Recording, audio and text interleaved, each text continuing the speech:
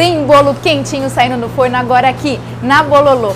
São muitas opções para você se deliciar, não é mesmo, Camila? Isso mesmo, Bruna. São quantas opções em bolos caseiros? Ó, nós temos mais de 20 opções dos bolos caseiros. Temos bolo de cenoura, que sai bastante. A gente tem o milho cremoso, fubá com queijo, e a nossa novidade que é o bolo paçoca para essa época do ano. E para quem quer colocar uma calda e deixar o bolo ainda mais gostoso, vocês colocam na hora? Temos várias opções e colocamos na hora. Para quem tem uma festa e precisa de um bolo confeitado, vocês fazem? Fazemos também, temos algumas unidades disponíveis na loja, mas também fazemos sob encomenda do tamanho que o cliente quer. E cupcake e mini bolos também, né? Também são uma delícia.